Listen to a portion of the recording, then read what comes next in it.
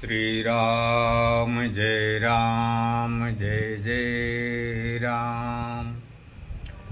श्री राम जय राम, जय जय राम। सुन शुभ कथा भवानी रामचरित मानस विमल। कहा भुसुंडी बखानी सुनास बिहग नायक गरुण। शिव जी पार्वती जी से कहते हैं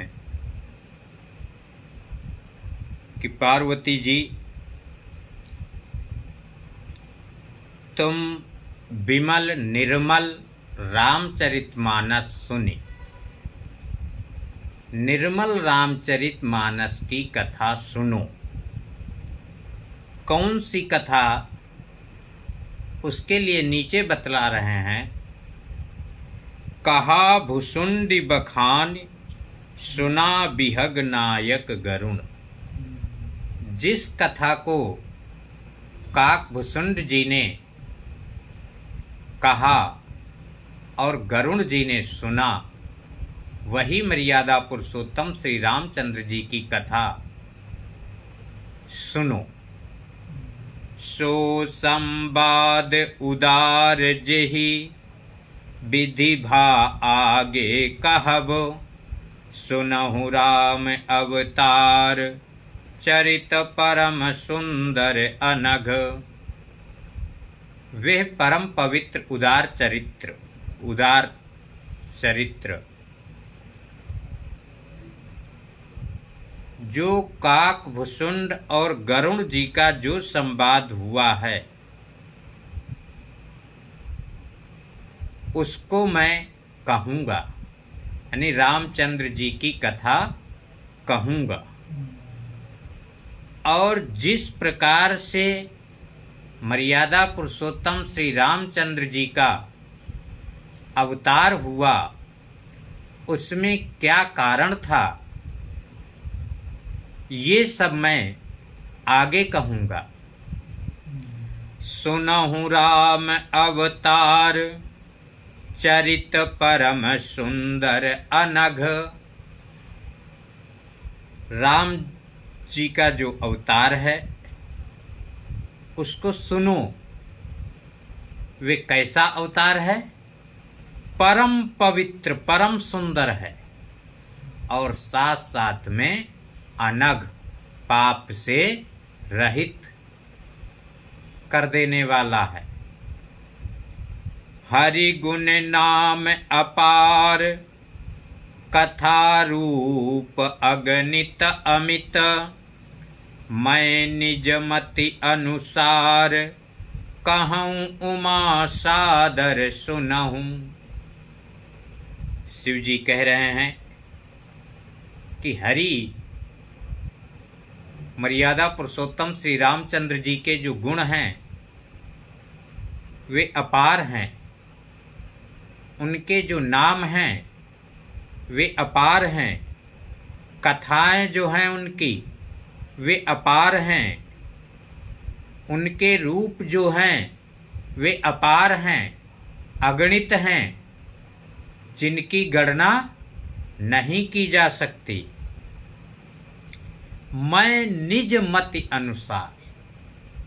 शिव जी भी कह रहे हैं कि मैं अपनी मति के अनुसार, यानी अपनी बुद्धि के अनुसार,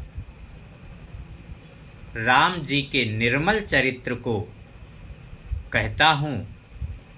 और पार्वती जी, आप बहुत ही आदर पूर्वक सुनो, सुनिए। सुनु गिरजा, हरिचरित सुहाये विपुल विशद निग मागम गाये कि पार्वती जी, हरि जी के जो चरित्र हैं, राम जी के जो चरित्र हैं, वे बहुत ही सुंदर हैं। वेद शास्त्रों ने जिनका बहुत विस्तार से वर्णन किया है, गाया है, उन्हीं को सुनो। हरि अवतार, हे तुझे ही होई इदमिथम कही जाय न सोई। हरि, मर्यादा पुरुषोत्तम श्री रामचंद्र जी का अवतार जिस कारण से भी होता है।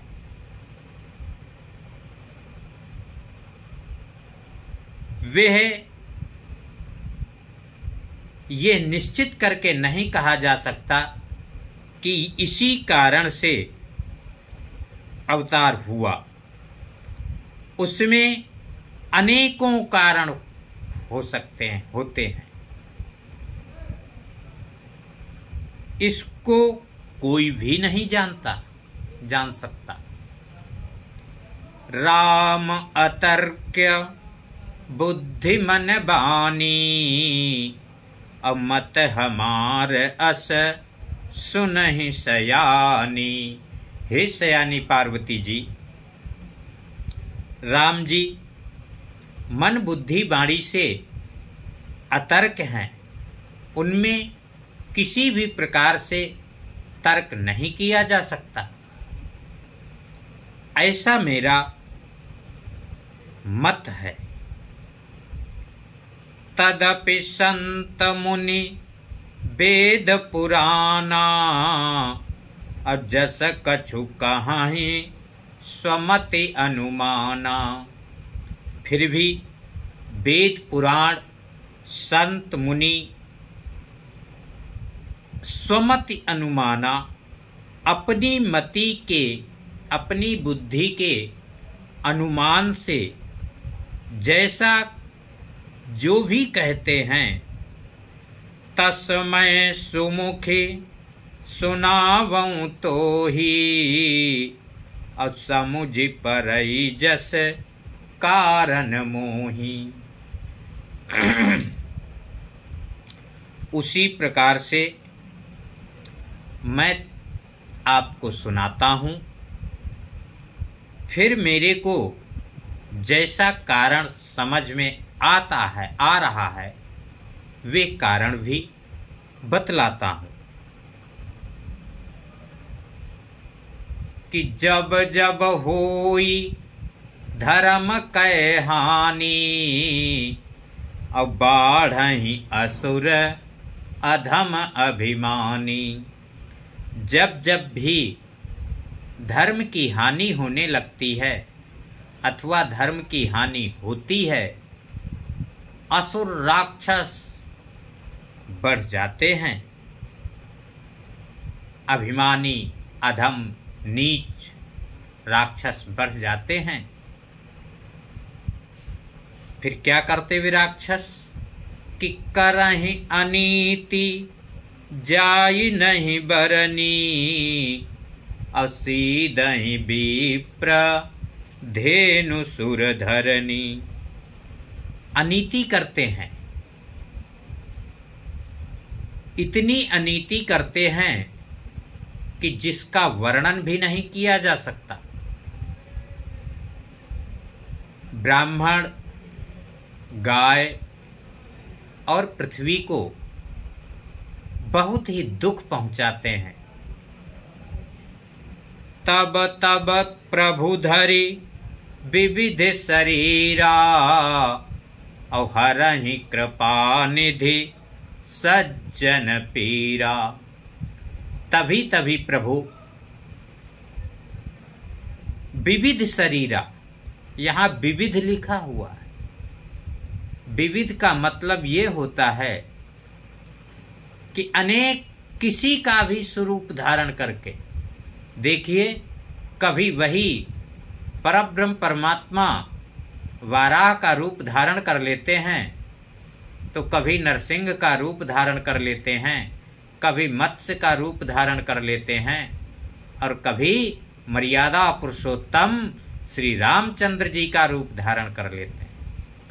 तब तब धरि प्रभु विविध शरीरा, हर ही कृपा निधि, सज्जन पीरा। तभी तभी प्रभु, अनेक प्रकार का शरीर धारण करके, और वे कृपा निधि, सज्जन साधुओं की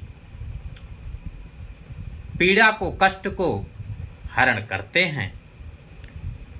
असुर मारि था पहि सुरन राख निज श्रुति सेतु।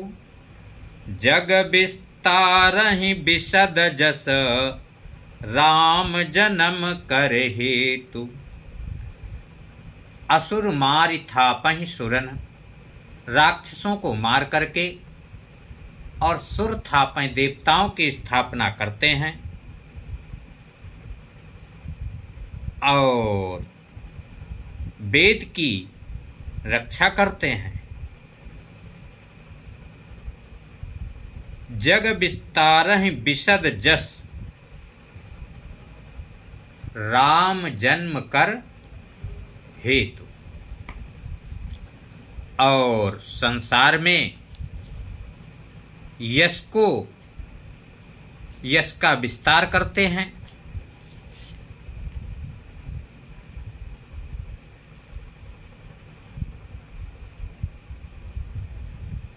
सोई जस गाई, भगत भवतरही अकृपा सिंधु जन हित तनु धरही। भक्त लोग जो मर्यादा पुरुषोत्तम श्री रामचंद्र जी के भक्त हैं, वे उन्हीं की लीला को का गान करके और इस भवसागर से पार हो जाते हैं। तो वे कृपा के सागर, कृपा सिंधु, जनहित, मनुष्यों का हित करने के लिए ही शरीर का, शरीर को धारण करते हैं।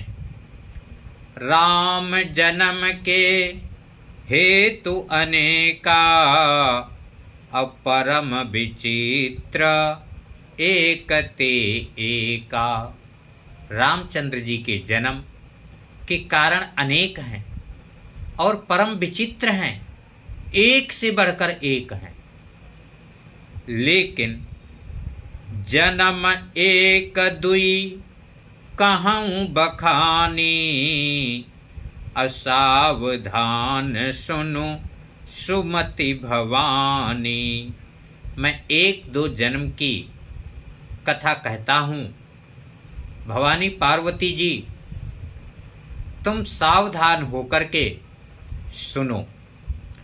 कि द्वारपाल हरि के प्रिय दो अजय अरु विजय जान सबको हरि भगवान विष्णु के अत्यंत प्रिय दो द्वारपाल थे। जिनका नाम एक का नाम जय और दूसरे का नाम विजय था। इस बात को सब कोई जानता है। विप्रश्रापते दूनौ भाई अतामस असुर, देह तीन पाई। ब्राह्मणों के श्राप से वे दोनों भाई, कौन ब्राह्मण वे थे? सनक सनंदन सनातन सनत कुमार। इन्हीं के श्राप से दोनों भाइयों ने तामसी, राक्षसी देह को प्राप्त किया। कनक कशिपु अरु, हाटक लोचन, जगत विदित सुर। पति मद मोचन। तो वे दोनों में एक का नाम हिरणाकश्यप और दूसरे का नाम हिरण्याक्ष हुआ। वे इतने बलवान हुए कि सुरपति मदमोचन सुरपति अर्थात देवताओं के पति इंद्र के भी मद अहंकार को नष्ट कर देने वाले ऐसा संसार में विदित है। विजयी समर वीर विख्याता, अधरी बराह बपू, एक निपाता। युद्ध में वे विजयी ही होते। बहुत बड़े वीर थे, ऐसा विख्यात है। उनको मारने के लिए भगवान ने वाराह का रूप धारण किया और एक को अर्थात हिरण्याक्ष को मार दिए। होई नर हरिदू सर पुनि मारा अजन प्रहलाद सुजस विस्तारा। फिर जो हिरणा कश्यप बचा तो हिरणा कश्यप के लिए उन्होंने नरसिंह भगवान का रूप धारण किए और नरसिंह का रूप धारण करके हिरणा कश्यप को भी मार दिए। और भक्त प्रहलाद के यश का विस्तार किए। भये निशाचर जाइते, महावीर बलवान। कुंभकर्ण रावण सुभट, सुर विजयी जग जान। वे दोनों के दोनों, बहुत बड़े बलशाली, बलवान निशाचर राक्षस हुए। फिर हिरण्याक्ष और हिरणा कश्यप के बाद में वे कुंभकर्ण और रावण हुए। एक कुंभकर्ण हुआ और दूसरा रावण। सुर विजयी, ये देवताओं को विजय देवताओं पर विजय प्राप्त कर लेते थे। ऐसा संपूर्ण संसार जानता है। मुकुत न भये, हते भगवाना अति जन्म द्विज, वचन प्रवाना। भगवान के मारने पर भी ये मुक्त नहीं हुए। वैसे भगवान के सामने जो अपने प्राणों को त्यागता है वे मुक्त हो जाता। है लेकिन ये भगवान के मारने पर भी मुक्त नहीं हुए। क्यों? क्योंकि ब्राह्मण ने श्राप दिया था। ब्राह्मण के श्राप के वचन को सिद्ध करने के लिए वे मुक्त नहीं हुए। भगवान के मारने पर भी। एक बार तिन के हित लागी, अधरिउ शरीर भगत अनुरागी। एक बार उनके हित के लिए शरीर को धारण किए और पर ब्रह्म परमात्मा मर्यादा पुरुषोत्तम श्री रामचंद्र जी। भक्तों के तो अनुरागी प्रेमी हैं ही हैं। कश्यप अदिति, तहाँ पितु माता, दशरथ कौशल विख्याता। कि कश्यप और अदिति पूर्व जन्म में ये कश्यप और अदिति थे, वही दूसरे जन्म में दशरथ और कौशल्या नाम से विख्यात हुए। एक कलप यही विधि अवतारा, अचरित पवित्र किए संसारा। एक कल्प में इस प्रकार से प्रभु का अवतार हुआ और लीला करके संसार को पवित्र किए। एक कलप सुर देखी दुखारे, असमर जलंधर सन सब हारे। एक कल्प में जलंधर से सभी देवता परास्त हो गए। सभी देवता दुखी रहने लगे। उन देवताओं को दुखी देख करके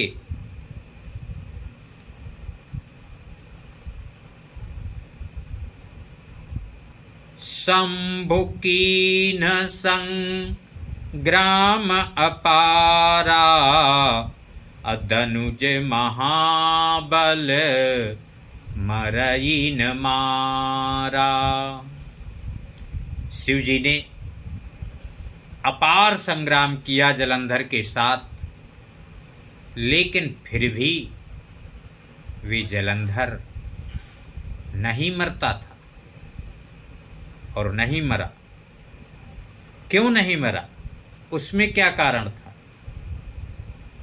कि परम सती असुराधिप नारी अति ही बलता ही न जीत ही पुरारी। जलंधर की जो स्त्री थी, वे परम सती थी। परम सती होने के कारण उसी के बल से भोलेनाथ जी जलंधर को नहीं मार पा रहे थे, नहीं जीत पा रहे थे। तो छल करिटार्युता सुब्रत, प्रभु सुर कारज कीन, जब ते ही जान्यू मरम तब, श्राप कोप कर दीन। तो उस समय भगवान विष्णु ने ही छलकर छलकर टारे उत्तास व्रत, छल करके जलंधर की पत्नी का व्रत खत्म कर दिया। जो सतीत्व का व्रत था, उसको समाप्त कर दिया। क्यों ऐसा क्यों किए? सुर कारज कीन देवताओं का कार्य करने के लिए। और जब ते ही जाने मरम तब जब जलंधर की पत्नी ने ये बात जानी तो श्राप कोप कर दे। गुस्सा होकर के मेरे को भी श्राप दे दिया। आइए दो बार भगवान का नाम लेते हैं। श्री राम जय राम, जय जय राम। श्री राम जय राम, जय जय राम। वीडियो को लाइक, शेयर, सब्सक्राइब करें और अपने मित्रों को भी इस धर्म, धार्मिक चैनल से जोड़ें। जय श्री राम